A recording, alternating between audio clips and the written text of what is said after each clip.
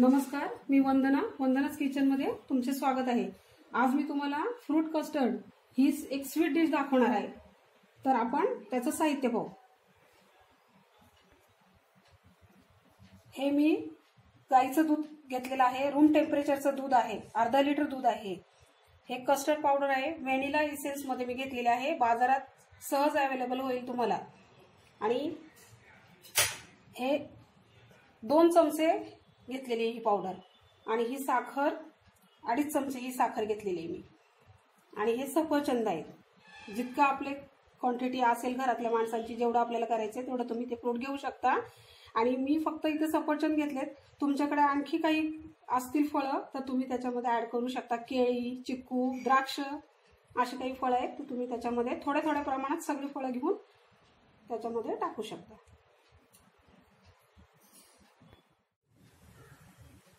मी आता gas on करते. Gas चालू करून घेतलेला आहे. आणि हे का म्हणलं दूध आहे ते आपण कोमट करायला ठेवायचे. आपल्याला लगेच हे उकळवायचं पण नाहीये आणि अर्धवटही गरम व्हायला पाहिजे. म्हणजे कडक व्हायला नाही पाहिजे. साधारण हे आपल्याला कोमट करायचे.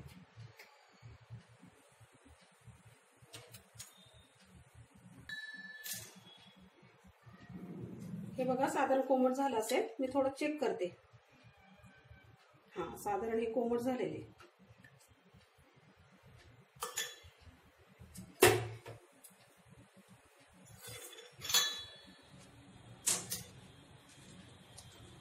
गॅस मी बंद करते. दाखवते मी तुम्हाला. आपल्याला एक पाव पेलाच फक्त. अर्धाही नाही पूर्णही नाही.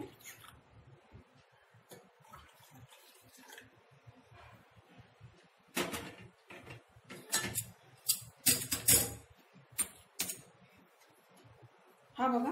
हा पाव पेला आपण फक्त त्याच्यामध्ये. दूध घेतलेलं आहे कोमट. त्यामध्ये आपल्याला ही कस्टर्ड पावडर आहे ही टाकून त्याची पेस्ट बनवून घ्यायची.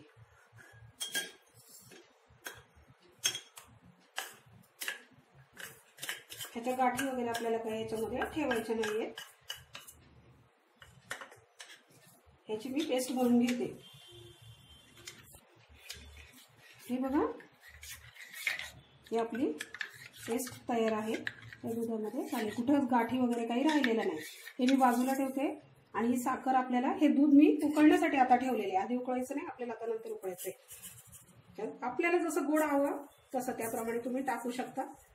कारण फ्रूट असतात त्यामुळे जास्त साखर आपल्याला ह्यामध्ये वापरायची नाही आणि हे सतत घालून घ्यायचे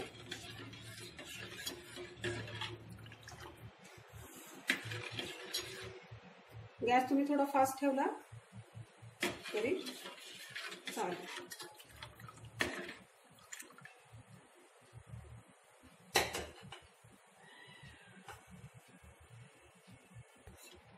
हे बघा थोडं दूध उकळायला आलेलं आहे. ही पेस्ट आपल्याला हळूहळू या दुधामध्ये सोडायची आणि सतत ढवळत राहायचे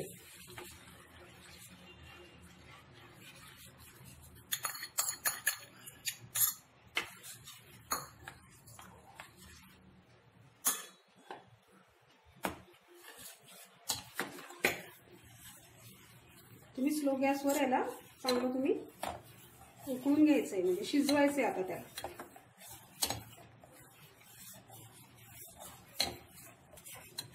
गॅस मी मिडियम ठेवलेला आहे. आणि बघा आपण पेस्ट त्यामध्ये ओतली दुधामध्ये तेव्हापासून आतापर्यंत थोडस हे बघा घट्टपणा येत चाललंय. जसं आपल्याला हवं त्याप्रमाणे आपण थोडं आणखी त्याला शिजू द्यायचं घट्ट होईल ते आणखी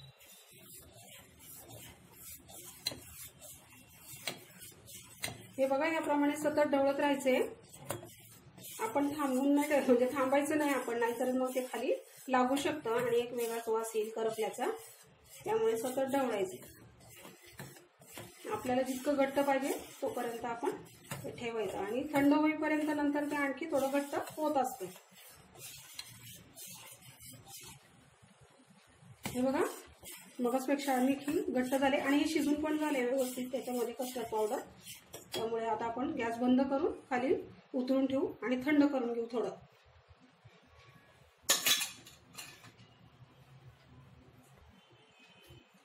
हे पहा आता सध्या खूप गरम आहे. त्यामुळे आपल्याला याला रूम टेम्परेचरला येईपर्यंत बाहेरच ठेवायचे आणि अगदी थंड झाल्यानंतर आपण थंड म्हणजे फ्रूट जेव्हा टाकायचे तो त्यासाठी आपण फ्रीजमध्ये ठेवणार आहोत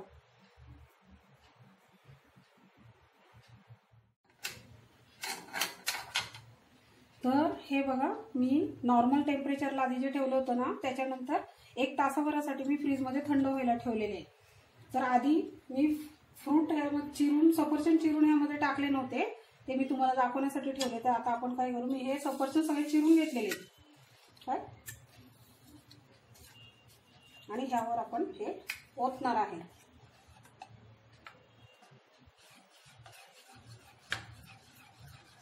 दोन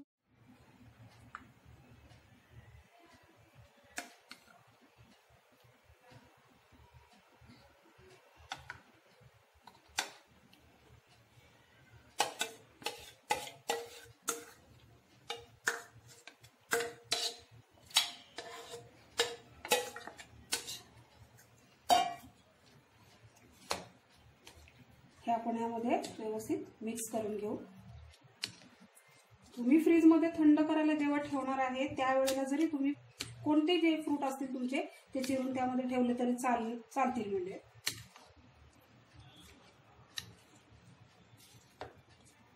आणि फ्रूट ऐवजी जर तुमच्याकडे ड्रायफ्रूट असतील तर तुम्ही फक्त त्याचेही करू शकता किंवा ह्यामध्ये सुद्धा तुम्ही मिक्स करू शकता. तर हे आपलं तयार आहे बघा. फ्रूट कस्टर्ड आपलं तयार आहे. तर ही रेसिपी तुम्ही नक्की करू घरी करून बघा. तुम्हाला काही छोटा कार्यक्रम वगैरे घरी असेल तर तुम्ही झटपट ही रेसिपी पाहुण्यांसाठी करू शकता. आणि हा माझा व्हिडिओ तुम्हाला आवडला असेल तर लाईक करा शेअर करा आणि माझ्या चॅनलला सबस्क्राईब करा. म्हणजे काय होईल तुम्हाला नोटिफिकेशन येईल आणि माझ्या पुढील येणाऱ्या नवीन नवीन रेसिपीज तुम्हाला पाहायला मिळतील. धन्यवाद.